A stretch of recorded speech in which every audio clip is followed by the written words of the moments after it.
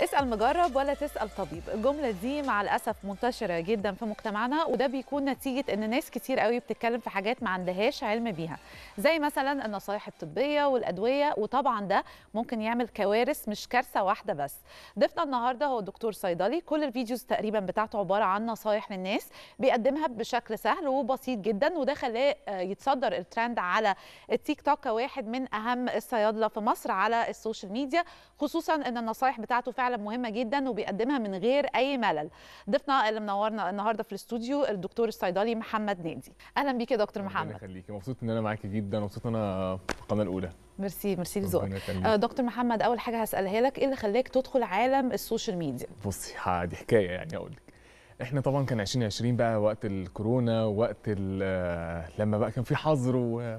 وإحنا من ضمن الناس اللي ممنوعين عننا الحظر فكنا بننزل. فقاعد ما بنعملش حاجة. فبدأت الناس ت... كانت بتصور videos على التيك توك وبتاع فاحنا كنا بنصور videos فبنصور حاجات light كده كوميدي حاجات في الصيدلية والمواقف اللي بتحصل معانا. ففي مرة كده قلت لنفسي طب أنا ليه ما استغلش الموضوع ده أقدم حاجة تفيد الناس؟ وحاجة جد بقى شوية. آه شوية هزار ولا ونقدم حاجة محتوى الناس تستفيد بيها فعلا. فبدأت فيديو بفيديو بفيديو الحمد لله. ومشيت بقى. الحمد لله.